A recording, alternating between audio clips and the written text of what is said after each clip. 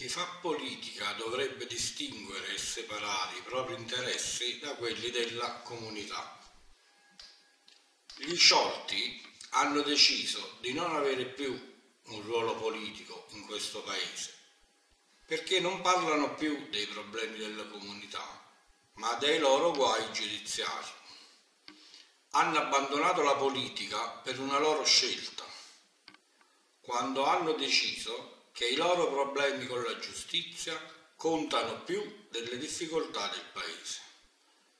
Le indagini, le richieste di rinvio a giudizio, il processo in corso, una sentenza di condanna già arrivata, l'origine del procedimento del prefetto che ha portato allo scioglimento del Consiglio Comunale, chi ha fatto gli esposti, a chi e perché.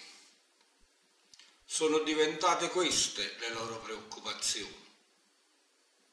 Ma tutto questo non ha nulla a che fare con i problemi dei cittadini, con lo stato in cui è stato ridotto il paese. Tutto questo ha invece molto a che fare con quanto gli sciolti devono chiarire nelle sedi giudiziarie. Sono i loro problemi, non i problemi dei pratolani. I problemi di Prato la Serra, tutti i problemi, hanno invece origine da un solo elemento, uno solo. Questo elemento si chiama camorra. La camorra che si è infiltrata nell'amministrazione comunale, la camorra che ha messo radici nella nostra comunità di questo bisognerebbe parlare, di come affrontare i problemi e di come risolverli. Perché la politica è esattamente questo che fa. E a Pratola questo non lo fa nessuno. A combattere contro emergenze e disastri sono rimasti solo i commissari.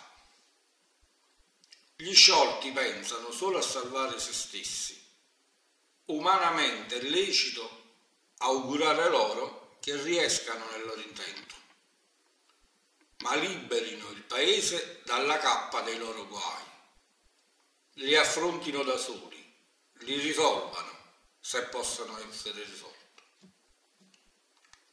I cittadini non possono farsi carico anche dei loro problemi, delle loro vicende giudiziarie, della loro ostinazione a trasformare un caso giudiziario che riguarda ipotesi di reato dei singoli in una chiamata in causa dell'intera comunità, come a schierarsi o a fare il tifo. Pensiamo ai problemi del paese. Gli sciolti si occupino dei loro, si difendano davanti ai giudici. La politica non c'entra nulla con le loro pendenze dinanzi alla legge.